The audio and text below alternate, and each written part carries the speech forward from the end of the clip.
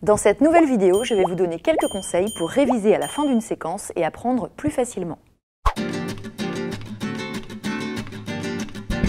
On révise mieux lorsque l'on comprend les objectifs et les enjeux de l'évaluation. Bien comprendre les attentes d'une épreuve permet de s'y préparer avec précision et efficacité. Il ne faut pas perdre de vue qu'en langue, vous êtes évalué à la fois sur le fond et sur la forme. Il ne faut donc pas seulement privilégier l'apprentissage de la langue, le lexique, les structures, la grammaire, etc., mais aussi reprendre la réflexion autour du sujet, du thème traité. Par exemple, si vous voulez réviser une séquence autour de l'axe art et pouvoir, il vous faudra examiner là ou les problématiques de la séquence, les questions qui sont posées, et reprendre tous les documents de la séquence qui permettent d'y réfléchir. Mais vous devrez également mémoriser les mots, les expressions, les points de grammaire qui vous aideront à y répondre. Ici, par exemple, le lexique de l'art, l'expression du but et certains emplois du subjonctif.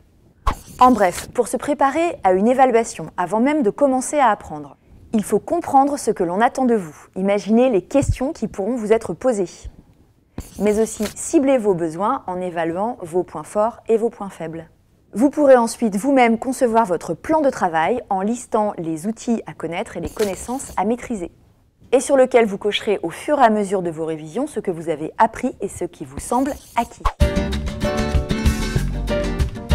Ranger par catégorie ou opérer des regroupements est une étape fondamentale dans le processus de mémorisation, puisqu'en vous obligeant à sélectionner, à trier, à organiser les informations, vous vérifiez votre compréhension en même temps que vous stockez les connaissances dans votre mémoire.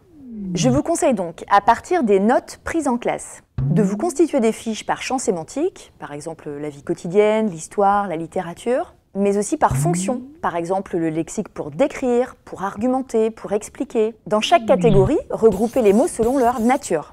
D'un côté les noms, les adjectifs, d'un autre côté les verbes, les adverbes. Pensez à regrouper les mots par paire, synonymes ou antonymes, car il est plus facile de retenir des ensembles organisés que des éléments isolés. Listez aussi les points de grammaire en fonction de leur utilité, par exemple pour donner un ordre, un conseil ou pour exprimer le souhait, un doute, une hypothèse. Regroupez enfin les connaissances culturelles de manière synthétique et organisée. Pour mémoriser plus facilement, il est aussi utile de faire des rapprochements, de croiser les idées. Pour cela, commencez par établir des liens entre ce qui est nouveau et ce que vous savez déjà.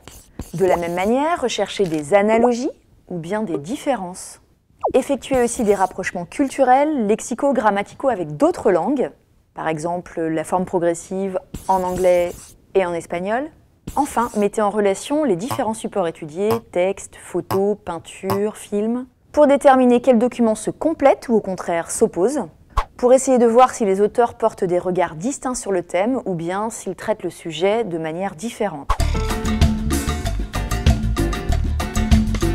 Pour retenir plus facilement, soyez créatif et fabriquez vous-même vos propres outils et activités d'entraînement. Le fait de créer vos fiches et vos exercices est déjà en soi une première étape dans le processus de mémorisation. Il sera par la suite beaucoup plus facile de retenir ce que vous avez vous-même conçu plutôt que de vous approprier les outils conçus par les autres. Pour cela, fabriquez-vous des fiches, des marque-pages, des schémas, des cartes mentales, des tableaux synthétiques. Pour sélectionner et lister les mots-clés correspondant à chaque séquence et autour d'une même problématique, inspirez-vous des hashtags. Pensez aussi à illustrer vos fiches pour les rendre plus attrayantes et créez-vous un code couleur, notamment pour ceux d'entre vous qui s'appuient plus particulièrement sur leur mémoire visuelle. À ce titre, les flashcards peuvent se révéler très efficaces. Si vous ne les utilisez pas encore, les flashcards sont des cartes recto-verso sur lesquelles vous notez d'un côté la question ou l'information à retenir et de l'autre la réponse, sous forme de dessin si vous mémorisez mieux en visualisant. Vous pouvez par la suite les utiliser seuls pour vos révisions ou bien en travail de groupe de façon ludique, en vous posant des questions, en les triant, en mettant de côté les informations que vous avez retenues pour ne garder que celles qu'il vous reste à apprendre. Parmi les autres activités ludiques que vous pouvez mettre en place pour mémoriser, pensez aux joutes verbales ou battles de mots à plusieurs autour d'un même champ sémantique, aux quiz de connaissances, aux défis mémoire, aux QCM, etc. Dernière astuce, si vous ne parvenez pas à fabriquer vous-même vos outils ou vos activités d'entraînement, aidez-vous d'exercices autocorrigés en ligne et d'applis, notamment celles qui vous permettent d'éditer des flashcards ou des cartes mentales. Pour bien ancrer vos connaissances et acquérir des compétences sur le long terme, il vous faut maintenant vous exercer et mobiliser ce que vous avez appris. Commencez par reproduire et produire des énoncés, des phrases, à l'écrit mais aussi à l'oral, car le fait de verbaliser vous aidera à assimiler plus facilement les éléments nouveaux. Refaites certaines activités pour mémoriser la démarche et pour vous approprier des savoir-faire. Réemployez des structures pour voir si vous êtes capable de les utiliser dans d'autres situations. Rédigez des phrases de synthèse qui combinent les différents éléments appris. Résumez à l'oral ou à l'écrit le contenu d'un document à quelqu'un qui n'en aurait pas connaissance. Et puis privilégiez le travail de groupe, euh, débat d'idées, partage d'informations, etc., pour vous entraîner à l'oral et vous entraider. Pour aller plus loin, vous pouvez vous interroger sur les prolongements possibles.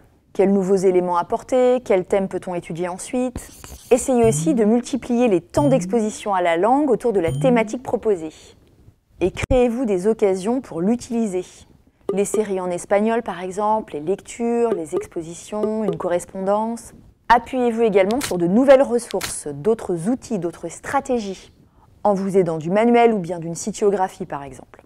Enfin, pour bien ancrer vos connaissances, n'hésitez pas à mettre en parallèle ce que vous apprenez en cours d'espagnol avec les connaissances et compétences acquises dans d'autres disciplines, comme l'histoire, la littérature, l'économie par exemple, ou dans vos activités de loisirs comme les lectures, les films, les sorties, etc.